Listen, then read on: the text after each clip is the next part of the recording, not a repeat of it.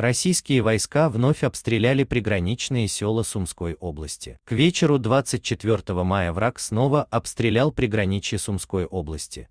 Стреляли в сторону населенного пункта Бояра Лежачие и Толстодубова. Об этом сообщает РБК Украина со ссылкой на оперативное командование «Север». Около с 5 часов вечера 5 минут до 5 часов вечера 18 минут наблюдатели зафиксировали 7 взрывов приходы с территории РФ в сторону населенного пункта Бояра Лежачи, вероятно из миномета. Также около 17 часов 15 минут зафиксировано 8 взрывов в районе населенного пункта Толстодубова, говорится в сообщении командования. Там добавляют – Потерь среди личного состава и техники нет. О потерях ранениях среди местного населения или повреждениях гражданской инфраструктуры информация не поступала. Напомним вчера, 24 мая, российские военные открыли огонь по деревне Мизеновка Сумской области.